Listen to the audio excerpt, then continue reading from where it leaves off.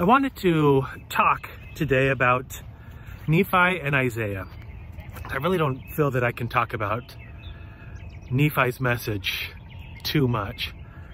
It's, it's amazing what Nephi wrote, and yet at the same time, it's so sad that so few members of the church today understand why Nephi put the Isaiah chapters into his writings because they really don't understand what Nephi's writings represent.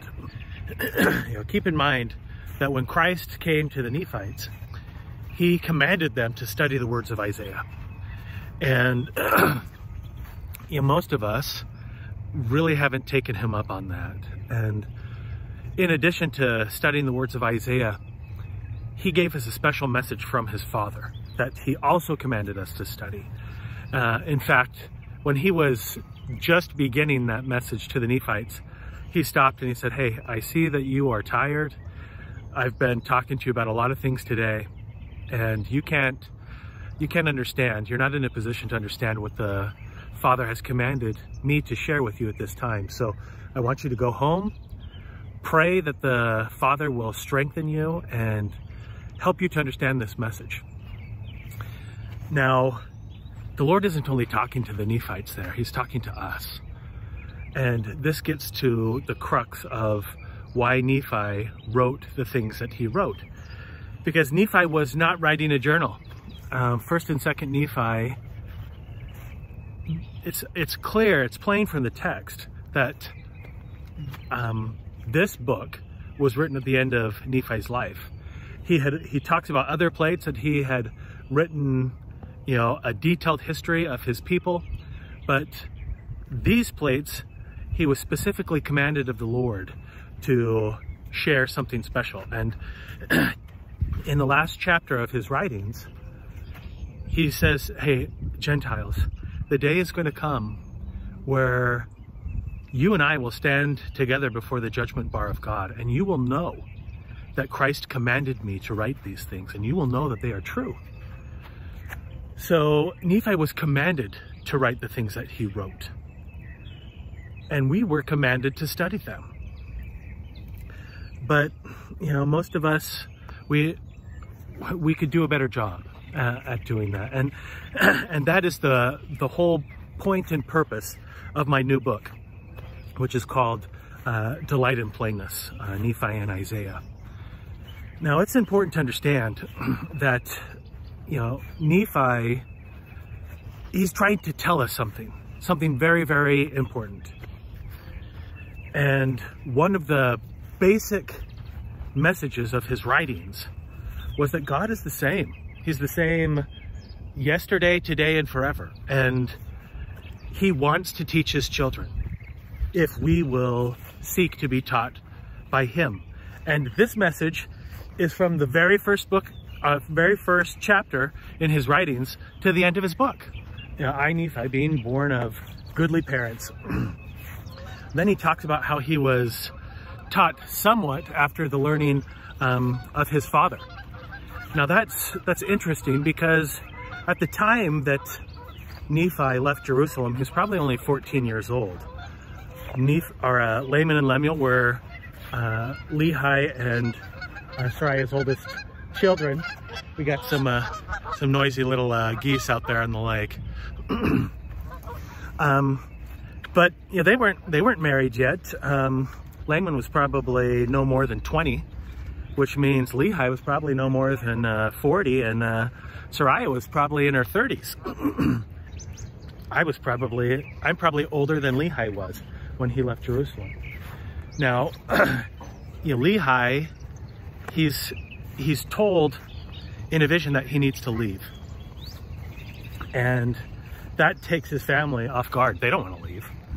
Um, and as you can imagine, if Nephi was 14, I mean, he said that he was exceedingly young, yet large in stature, which means, you know, he probably just recently went through puberty and, you know, kids go through puberty between uh, you know, 10 and 14 years old. So he's exceedingly young in his own words. And yet when his father tells him, hey, we're leaving, And everything you know, you're going to leave behind. All of your friends. um, we gotta, we gotta go. The Lord told me about this in a dream. And Nephi was upset. And, you know, so were all of his, uh, his entire family was upset. But remember the first verse.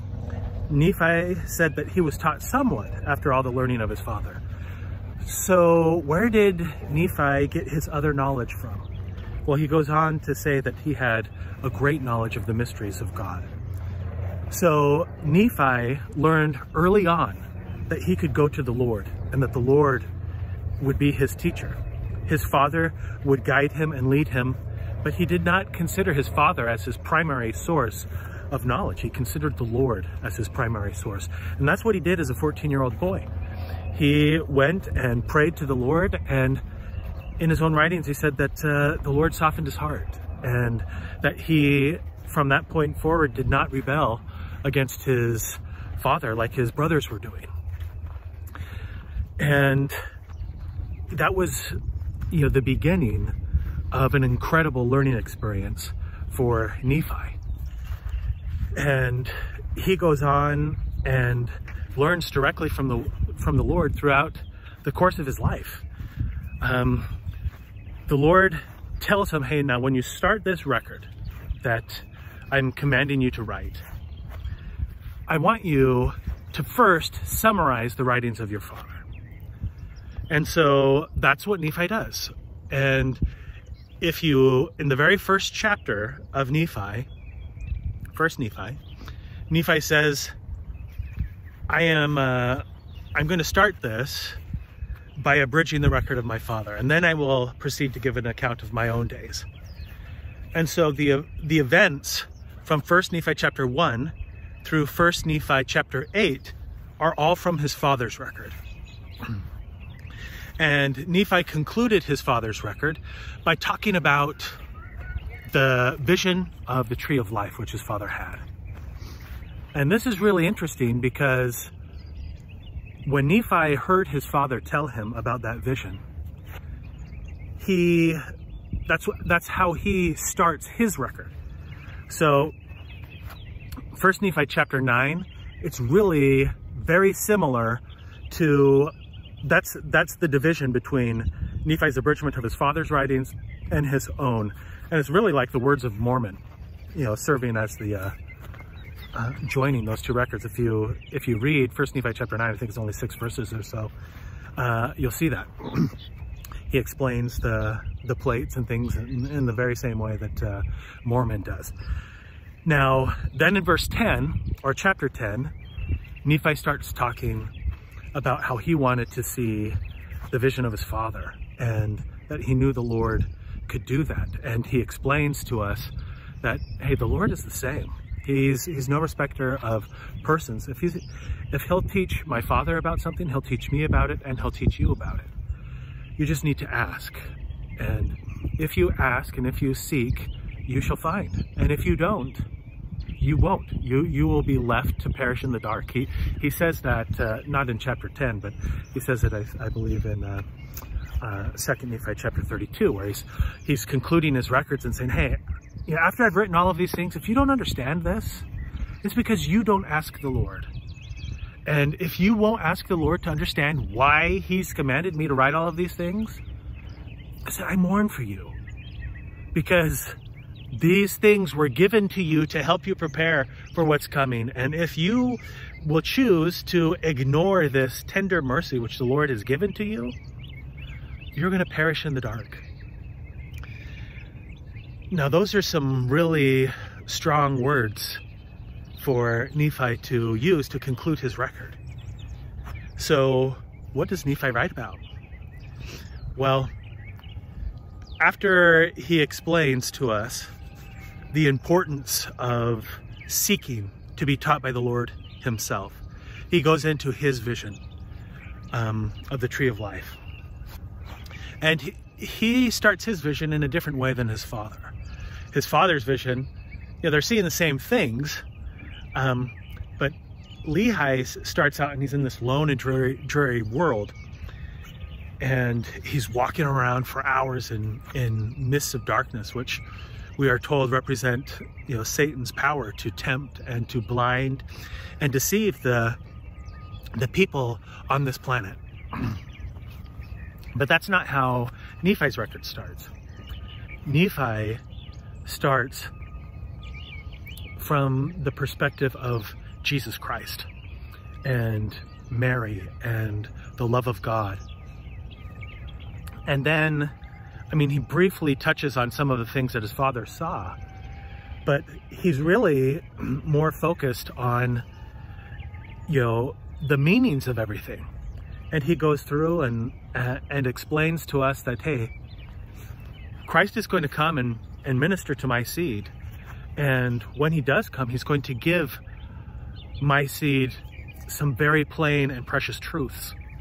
And those truths will be of great benefit to the Gentiles, if the Gentiles will use them.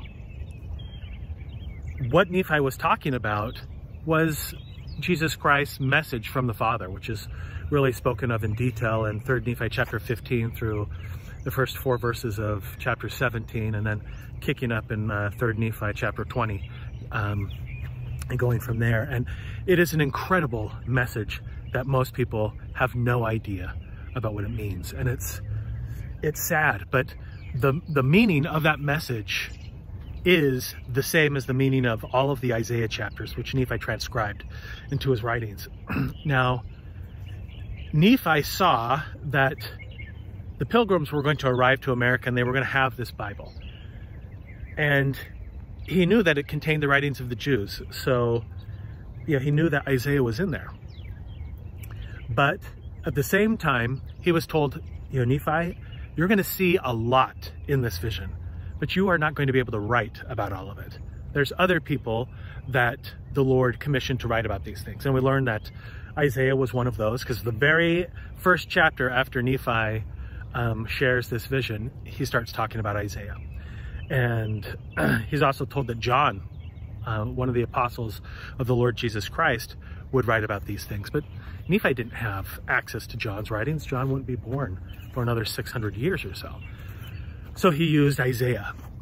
now, when Isaiah, you know, Isaiah's revelations, as recorded in the brass plates, are not broken up into chapters and verses. The chapters and verses that we find in the Bible are a relatively modern creation. I mean, I believe it's around the 1400s. Um, and so when Nephi is putting in a revelation and talking about a revelation from Isaiah, it's an entire revelation. But our chapters and verses kind of break things up and make it harder for us to understand these things because the way most of us read the Book of Mormon, unfortunately, is chapter by chapter. And so I have really made an effort in my book to analyze Isaiah's revelations as an entire revelation and not you know, as a chapter by chapter. So, the first two chapters that uh, of Isaiah that Nephi includes within his writings uh, comprise a single revelation. And there, it's an amazing revelation, but you need to read it together to understand, hey, this is all the same thing. And for that matter, first and second Nephi, that's an artificial um, creation. It's, it's really just, you know, the, the record of Nephi. There is no first and second Nephi when he wrote it. So when you break the, his writings up like that, the message becomes a little disjointed and it makes it more difficult for us to understand it. But in my book, one of the things that I do is go through chapter, not uh, revelation by revelation, and it really makes a difference to you know be able to understand what uh, Nephi is talking about. Now, one of the wonderful things that I've taken away from Nephi's writings was just how humble Nephi was. in 2nd Nephi chapter 4, Nephi is just in awe of the things that the Lord has showed him. He, he talks about how the Lord took him in the spirit to an exceedingly high mountain upon which he'd never before set foot. and showed him this incredible vision of the tree of life. And yet, despite having seen such marvelous things, Nephi continually laments because of his own weakness and the fact that Satan tempts him and he gives in to those temptations, you know, rather easily and he he mourns that fact. So, I mean, Nephi is a regular guy. He's just like us. And the difference is he would go to the Lord and he wanted to be taught by the Lord directly. so I think that one of the takeaways from Nephi's writings is we've all been given spiritual gifts. And what are we doing with those gifts? Nephi's gifts were to enable us to be able to understand and to prosper in the last days because he was writing to us, the Gentiles. He was not writing to the people of his day. So we really need to understand why he did what he did. And, you know, I, I think that if you will take the time and the effort to study these things out, then you will be amazed. Um, the revelations that Isaiah received all have to do with the last days and the restoration of the house of Israel. And if you do not understand the covenants and promises that the Lord has made with regards to the house of Israel, you are utterly unprepared for what's about to happen. And that's what the Isaiah chapters are about. They're to prepare us for what is coming. Yeah, our living prophet has told us, hey, study the covenants and promises the Lord has made with the house of Israel. And if you do, you'll be astounded. There is no better way to understand those covenants and promises than to do what Jesus Christ commanded us to do, and that is to study the words of Isaiah. And if you will take that challenge up, then your eyes will be opened. But if you do not, you they won't. And you will be shocked out of your mind when these things begin to happen. So I'm I'm excited for this for this book. Um, it's I've never seen anything else like it. Um, and I I hope that if you are interested in understanding more about Isaiah that uh, that it will be a resource and a blessing in your life. All right, um, I think that's enough for today. Uh, until next time, God bless.